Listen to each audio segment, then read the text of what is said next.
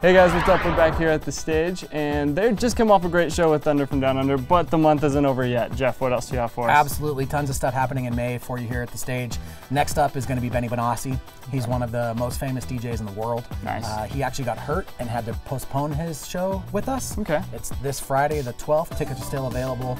Uh, if you're looking for a huge party, it's the spot to be on Friday. The following. Friday, we've got something a little different. Andy Gross is going to be here. Uh, he's a comedian, magician, ventriloquist, something very cool for audiences of all different types. It'll be a fun Awesome. night. We've got a brand new kitchen, so we're going to be serving some great food in here. Great. And then the following week is when we get funny in here again with Dave Attell. Nice. We've got four shows, two on Thursday, two on Friday. Those tickets are flying, so grab those.